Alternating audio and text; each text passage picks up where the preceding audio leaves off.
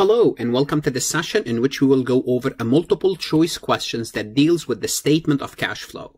The statement of cash flows is an important topic, extremely important on the exam.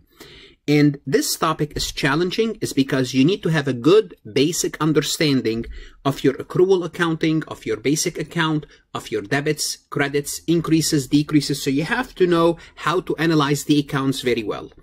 This information, what's given in front of you is a form of a multiple choice.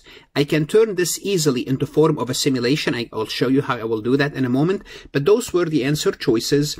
And this questions was posted. I posted this questions on my LinkedIn account.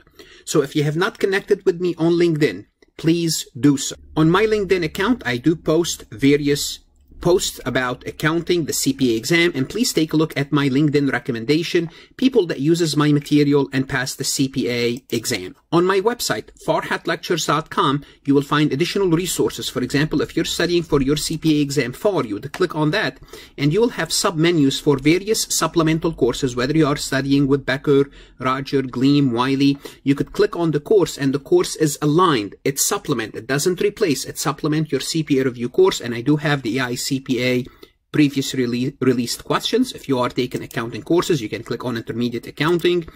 If you are taking managerial accounting, if you are taking governmental accounting, governmental is very, very popular because many students struggle with governmental accounting. Please take a look and one subscription give you access to all the material. Let's go ahead and take a look at this exercise. So I'm going to show you how this exercise, that's this multiple choice, I can turn it into a simulation. So that's why simulation should not intimidate you if you are well prepared. Here's what we are saying. The property, plant, and equipment is uh, of Adam Company was 145,000 and 50,000 respectively as of December 31st, year one. So rather than give you the statement, I can give you maybe the accounting system. I can give you the general ledger for property, plant, and equipment and the accounting ledger for accumulated depreciation and show you the balances of 145 and 150. Simply put, regardless, from your perspective, you should be thinking, I have property, plant, and equipment. My beginning balance is 145. I do have accumulated depreciation and my balance is 50,000. This is what you are giving. Immediately put, jot that, jot that down. First of all, before you do this, ask what you are being asked. And the, the question is, what's the amount of the depreciation expense on the statement of cash flow to reconcile net income to cash flow from operating? Simply put, what is the amount of depreciation expense? That's on the income statement. That's basically the question. During year two, the company purchased an asset for 25,000, which is property, plant, and equipment, to replace an old asset with a historical cost of 20. From a T account, you added 25 to property, plant, and equipment, and you removed 20. The old asset was sold for 2,000 and resulted in a gain of 1,000. Okay? Then at December 31st, year 2, this is year 2, the carrying value of Adam Company Property, plant, and equipment was 85,000. Adam uses the indirect method to compute the cash flow from activities. And they're asking you how much depreciation expense did we have? Well, again, you have to, this is like basically a puzzle, a puzzled question. Okay. And also to turn this into a simulation, rather than telling you we sold it for 2000, I can give you the closing, uh, the closing papers showing you that it was sold for 2000. Okay. And uh, rather than tell you we purchase an asset for 25, I can show you the purchase order. I show you the closing entry, the closing papers that we purchased something for 25. So you can turn this into easily into a simulation, but that's beside the point. Let's go ahead and solve this problem. We know that we started with property, plant, and equipment of 45. We added 25,000. Then we get a remove of an asset for 20. Simply put, ending property, plant, and equipment was 150. All what I did is giving the information, which is beginning balance, purchases, and sale. Now, once I know my property, plant, and equipment is 150, I'm also told that my book value, the carrying value was 85. How do we compute the carrying value? The carrying value is computed by taking property, plant, and equipment minus accumulated depreciation. Well, my accumulated depreciation must have been the difference and that must be 65,000. Now I found out that my accumulated depreciation ending balance should be 5 uh, 65,000. And I know that I sold an asset. I know from the information giving that I sold an asset for 2,000. the asset has a historical cost of 20. And I know I made a gain of a thousand.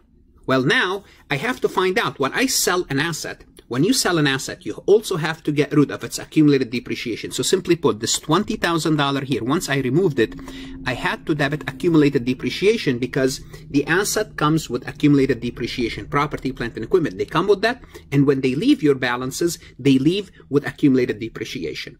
But the question is, how much was this asset was depreciated? Well, here we go. Here's what we know.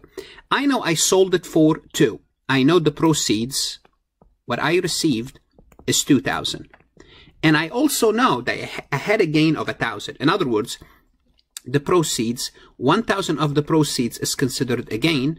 The remainder of the proceeds, it means it covered the book value of the asset.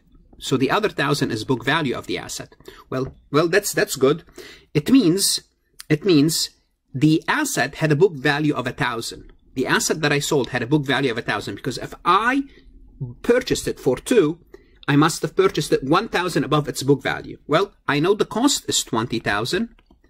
To make the asset with a book value of 1,000, well, it means accumulated depreciation with this asset, it means accumulated depreciation was 19,000. Right? So this is the cost. This is the implied accumulated depreciation. And this is the book value. And how do I know the book value should be 1,000? Because I paid 2,000 I sold it, I'm sorry, I sold it for two and it resulted in a gain. It means I sold it 1,000 more than the book value. 1,000 more than the book value is 2,000. Now I know that I removed 19,000 of accumulated depreciation related to this asset. At this point, I am ready to compute my answer. Why? Because I need to know now also during the year I booked depreciation but depreciation now is easy to find. So simply put, I started with 50. I subtract 19.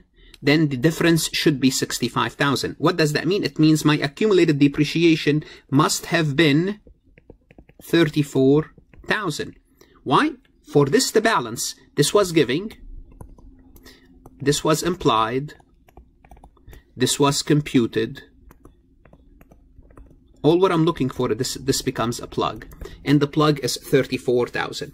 So notice this exercise. You need to have a good understanding of how property, plant, and equipment work and how accumulated depreciation works. So if you get to, to, to your statement of cash flows and you're like, it's challenging. It's not because the statement of cash flow challenging. It's because you might be lacking an understanding how property, plant, and equipment works, and how accumulated depreciation works. And remember, the statement of cash flows, you have to deal with AR, you have to deal with account receivable, you have to deal with inventory, you have to deal with accrued liabilities, you have to deal with your dividend, you have to deal with your retained earnings. So the statement of cash flows would require you, basically it tests you on everything that you have learned up to that point. Therefore, what I suggest you do, if you are studying for the exam, I do cover the statement of cash flow in depth, whether it's in my CPA review courses or in my intermediate accounting courses. Go to my website, farhatlectures.com, and believe me, I will make you an expert in these topics. So once you are ready to, to take the exam, you'll be well prepared. Good luck, study hard, invest in yourself. The CPA exam is worth it. Don't shortchange yourself, study hard, and of course, stay safe.